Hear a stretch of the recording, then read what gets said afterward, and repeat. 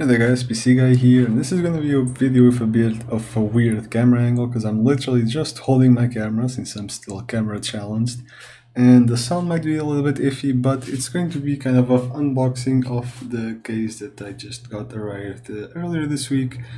Uh, sound might be iffy since the mic is kind of fixed in place here, with this uh, highly professional uh, mounting system on the windowsill. So yeah, the sound might be a little bit strange at some points and I'll have to see exactly how I'm gonna hold the camera, but I'll try to let you guys see what you can expect when you get uh, Lian Li PCO 11 Dynamic XL. And yeah, it's not going to be a build video, it's literally just an unboxing since I still have to get uh, rid of my desk first.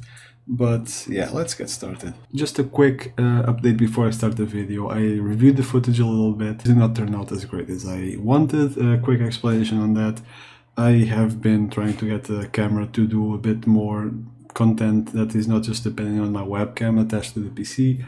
Have not succeeded yet, so I had to do it uh, handheld filming with my webcam, which was far from ideal to be wobbly, so not to be pointed at the wrong pla right places all the time. I'll put on the timestamps below uh, what time the commentary actually starts, so if you've had enough of the video because it's not great, you can skip to that time and then just watch the commentary afterwards. Personally also a bit disappointed, I wanted to produce a better video, but that's the quality I can do right now, uh, as much as it uh, pains me to admit. So if you'd like to help improve that quality, and I'm not asking for donations or anything like that, just uh, check our other videos, watch our content, and most importantly, and that's what we really need right now, is uh, subscribers to get more subscribers. I really wanted to reach that 1k mark, but that's still a bit far off. So hit the subscribe button if you would like to see better quality content for us, because trust me, I do want to do better for you guys. Anyway, let's move on with the actual unboxing. Well, the good news is it seems to have arrived whole. As you can see, uh, it is the XL edition black uh, in color, so I did not really feel like going silver or white because we all know how that stuff all gets dirty pretty quickly. And as you can see, we have a number of ports here at the front I.O. as well as two extra USB ports at the bottom, which let's face it, it's pretty handy to connect all the stuff that I have laying around, like the camera, mic, and all that sort of thing. Pretty handy in addition to the ones at the back.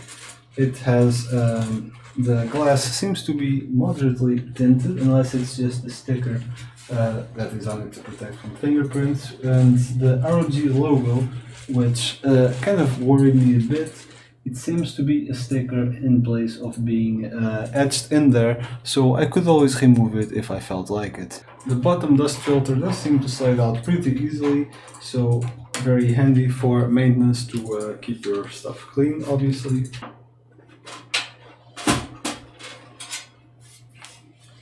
Top panel also comes pretty easily off via two thumb screws and a latch and then you can access the magnetic dust filter on top as well. It is worth mentioning that to remove the glass panel you do have to take out the top of the case because it just slides out the top with a few little screws on the corner top to kind of hold it in place. Where space on the inside of the case goes, you can fit up to three 120 fans here, another three here, and another three there on top. Although at the bottom and top you can also fit uh, 2 times 140, so you have a bit of a choice there to make as well as one 120 exhaust fan at the back. The motherboard tray will support boards up to ATX, although there is an extension that you can add for eATX boards. The cable pass-throughs uh, all have uh, kind of rubber grommets there to make the whole thing look a little bit better. If well, if you want to route your cables through there, which you should. And the power supply is held behind this uh, chamber. It's a dual chamber design, so in place of having a PSU shroud or so, they make the choice to allow you to even place a radiator down here if you wish, but in any case to have fans down here in place of a power supply shroud to cover it all. And the power supply is actually housed in the back in this chamber as I will show you in a second. Something that probably seems silly uh, to all of you guys that have had a bit higher end cases, but I really love the fact that you can just take out the PCIe slot covers with some thumb screws and then put them back in when you don't need them. Because the cases I was used to, you always had to break them off and then they would basically just stay broken off. As far as room in the back goes, you can fit here a, a dedicated spot for a vertical GPU holder. So it's good that there is an actual dedicated spot for that and there's a separate accessory from uh, from Lian Li that you can get to actually uh, have that. It does not come included, mind you. And here is where your power supply will go with ample room for cables and cable storage.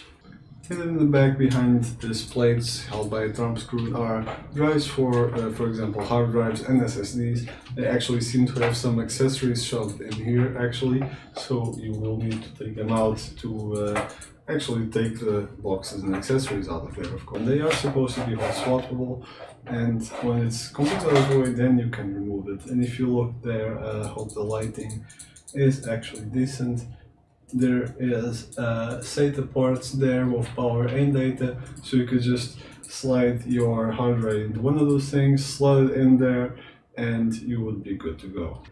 Say the box that uh, was in the hard drive tray, you'll simply find some replacement parts from some of the plastic bits that might eventually refuse if you use some force break off or something, as well as uh, velcro strips for cable management and a few other accessories like screws, a few extra motherboard stand-ups and such if you should need to use them. Last but not least, in the back side you will find at the bottom connectors from your uh, front panel like uh, OR connector, uh, SATA cables and such for power, as well as the USB connectors, HD audio, all that sort of stuff. It's all nicely zip tied here at the side ready to be used. You will need to remove these plates if you wish to use them for uh, fans or AIO on the side or such and the side panel which I will grab in a second. The side panel also has two uh, dust filters on the side, one for the fans like I mentioned and the other that goes over where the power supply will go. As you can see the air intake on the side is also pretty abundant. It's pretty well ventilated on the side for to allow for extra air to kind of make its way in and cool your stuff and that seems to be a defining point of this case.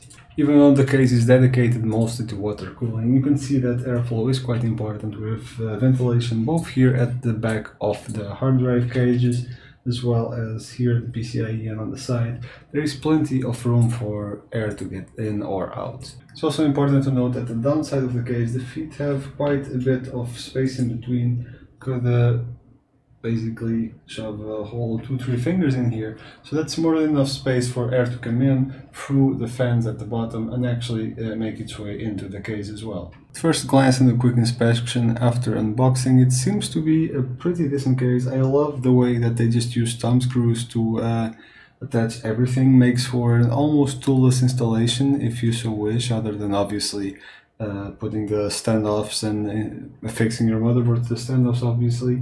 But it seems to be a very intuitive very easy to use case. I had not touched the instruction manual yet and I managed to check out the entirety of the case and most of its features. And the only thing I kind of had uh, to take a few minutes to figure out was the hard drive trays that uh, they had a little sliding thing that locked them in place and that's how you got them out. But other than that it's all very intuitive.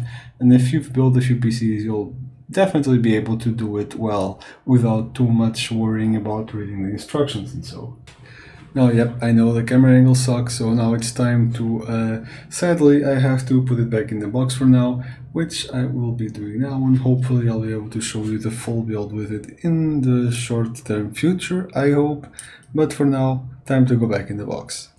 So after doing the unboxing and uh, well seeing what I could see at you know first sight just taking a look without actually reading instructions I broke out the instruction booklet and there is actually some pretty interesting things that I wasn't even aware that you could do with the uh, Lian Li XL but apparently you can. For example you can have up to two additional PSUs installed if you are willing to sacrifice the HDD brackets that I showed you guys uh, at the back, you can actually remove the trays and use that as PSU enclosures. As far as SSD installation goes, you can use the brackets there, which is what I probably will end up using, or you can mount them at the bottom where the fans will be, although then you'll sacrifice cooling for the sake of having SSDs there, or you can also have it installed in the middle plate at the back, which uh, I was not aware but uh, is removable.